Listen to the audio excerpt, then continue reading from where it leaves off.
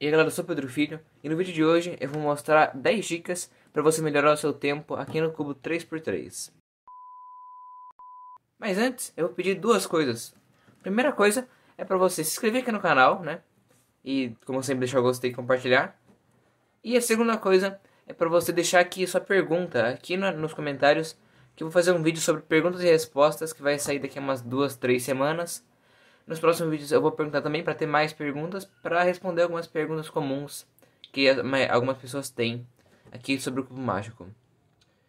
Voltamos para a sua programação normal. Então vamos lá. Primeira coisa que você tem que fazer é limpar o seu cubo. Limpar, sim, não limpar de pegar um paninho com, com água, sabão e limpar assim. Limpar no sentido de tirar a sujeira que tem lá dentro mesmo. Desmontar o cubo, e limpar mesmo com um paninho. Você pode ver aqui no meu MF3 RS, vamos dar um zoom aqui. Ali no meio tem umas frestinhas. Tá vendo ali? Tem várias frestinhas assim nessa direção assim. E essas frestinhas acumulam muita sujeira. Aqui no GAN tem nos cantos, são tipo de uns hexágonos, que é bem característico da, dos cubos da GAN. Não vai dar pra ver, mas saibam que tem. E nesses lugares, nessas frestinhas aí, junta bastante sujeira. Então, deixa o cubo lento. É bom você limpar de vez em quando.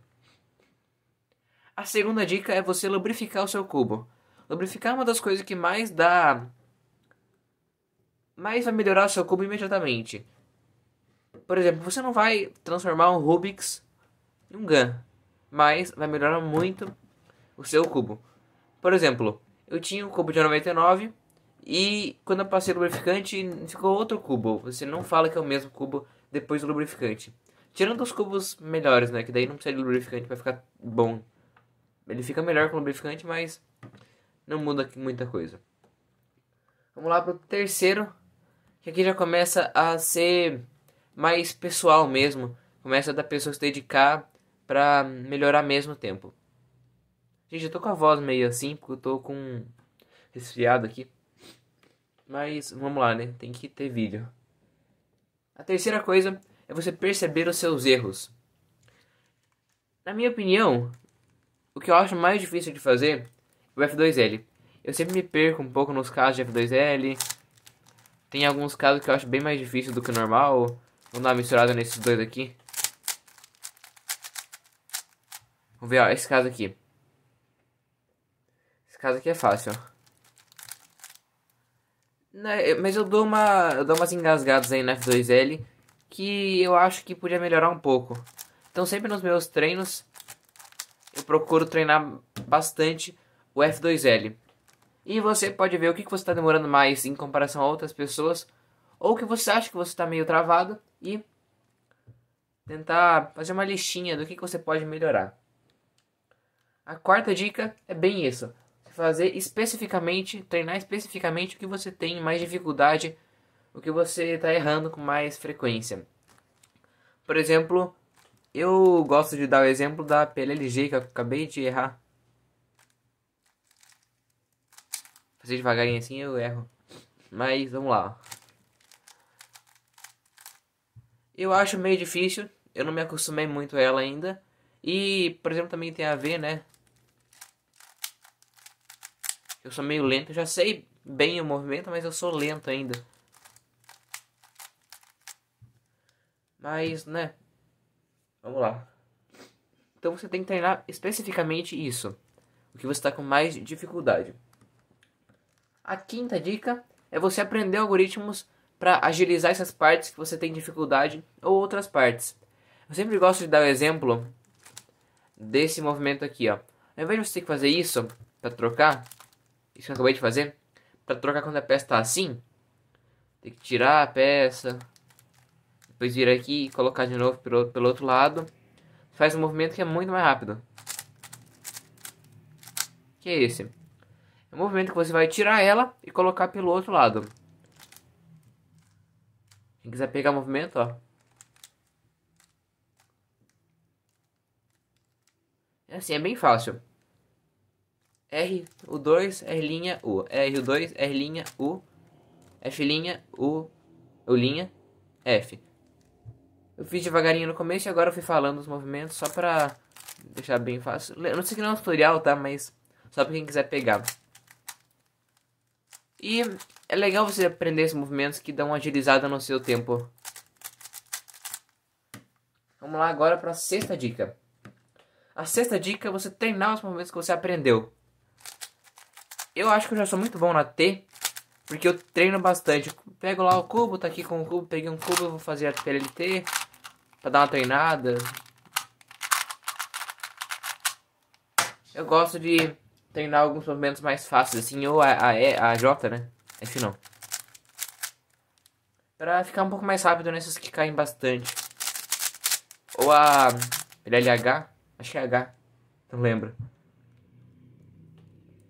A sétima dica é você ter memória muscular. O que é memória muscular? É você fazer alguma coisa automática, não tem que ficar pensando para fazer. Eu já tenho memória muscular na T. Eu faço ela bem rápido, porque eu não tenho que ficar pensando o que, eu tenho que fazer. A G, eu ainda tenho que ficar pensando um pouco. O que eu tenho que fazer. Eu ainda não peguei essa memória muscular. Nossa, isso aqui eu dei uma travada boa, hein?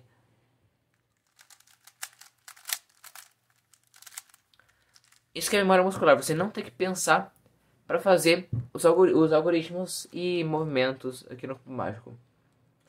A oitava dica é para quem já está um pouco mais avançado. Quem não está tão avançado aprende o método intermediário, mas quem está um pouco mais avançado, já, já sabe o método intermediário, que eu já ensinei nesse vídeo aqui, pode aprender o método Friedrich, que é o método avançado. Eu ainda não ensinei aqui no canal, pretendo fazer esse vídeo, mas por enquanto você pode pesquisar método Friedrich Cubo Mágico, tutorial, e ver alguns vídeos de tutorial aqui no YouTube. Isso vai ajudar muito o seu cubo, porque a maioria dos, dos, dos das pessoas que fazem sub-20 sabem o Friedrich completo, e é muito efetivo você aprender o Friedrich completo, que vai melhorar muito o seu tempo. A nona dica é muito importante. Todo mundo pensa que só tem que fazer isso, mas fazer os outros passos que eu falei nesse vídeo ajuda muito mais. Só que não adianta nada você não fazer esse passo, que é você treinar. Embaralhe lá seu cubo por completo e faz uma solve. Depois embaralha de novo, faz solve, até você ver que seus tempos começaram a cair.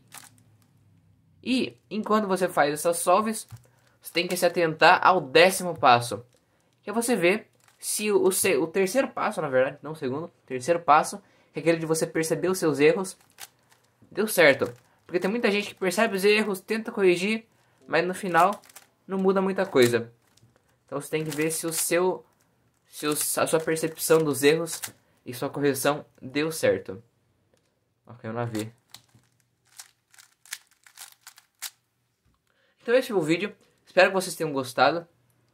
E não esqueça de deixar o gostei, se inscrever aqui no canal, compartilhar esse vídeo com seus amigos e enviarem suas perguntas, dúvidas e questionários aqui na descrição. Aqui, aqui na descrição.